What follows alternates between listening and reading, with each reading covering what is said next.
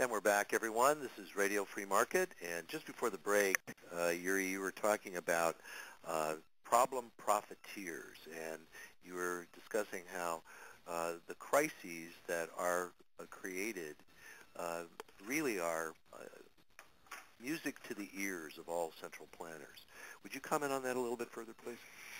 Oh yes, it's, uh, it is unfortunately true that that to expand the the power of government bureaucrats, you need you need a crisis, and this crisis can be real or imaginary in the United States and in Europe, and. Um, and definitely, if you have a crisis, then you have an excuse. I think was uh, um, uh, uh, Mr. Emanuel, who is uh, a chief of staff of the president, um, today of the President of the United States, he said uh, uh, this, this wonderful crisis should not be wasted.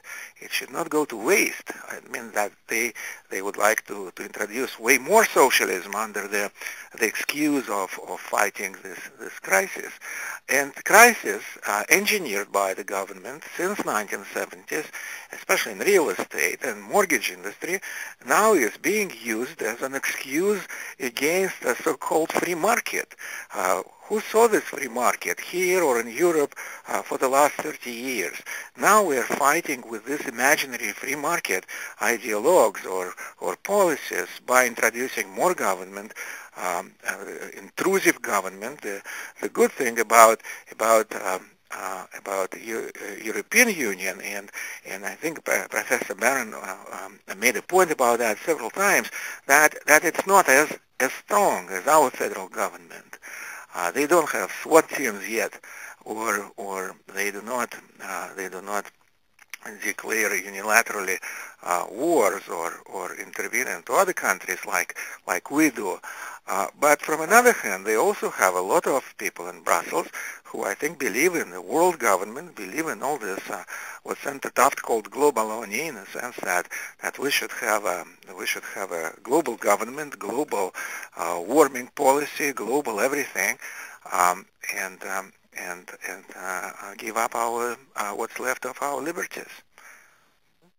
Mm, yes, that's unfortunately true. So, Pat, what what should the U.S. do? Well, I, I think there's two things the United States should do. Uh, first of all, in relation to to Europe, I I said before, I think the United States should not participate at all in the bailout. We should, uh, in effect, say we we are we wish you well, but we don't uh, we don't feel that we have uh, the right uh, by I mean our governmental right or to or interest to send our money over to bail out um, financially uh, Europeans or internationally. Yeah, and uh, you know I the way I look at this, Michael, is both in the in the Europe and in the United States, we're we're coming to the point where we have an opportunity to reevaluate the way our country is going.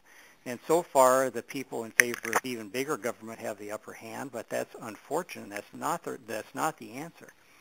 Uh, I think Greece uh, could uh, could become modern day heroes if they sat back and said, you know what, we're going to do just as Yuri Maltsev has said. We're going to free labor markets. We're going to reduce business regulation.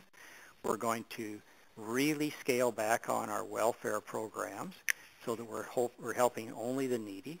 And uh, quickly their finances would be in order and they wouldn't need a bailout from anyone and they could show by working hard that this is the way out of this uh, situation. Absolutely. Excellent. Well, I want to thank and extend uh, uh, my deep thanks and appreciation to Dr. Yuri Maltsev and Mr. Pat Barron for being with us today. Thank you, gentlemen. Uh, this is Michael McKay in Radio Free Market. Please visit us on the web at radiofreemarket.com where you can download this and all of our shows for free. And until next week, folks, wherever you are, please stand up for freedom. Thank you for listening.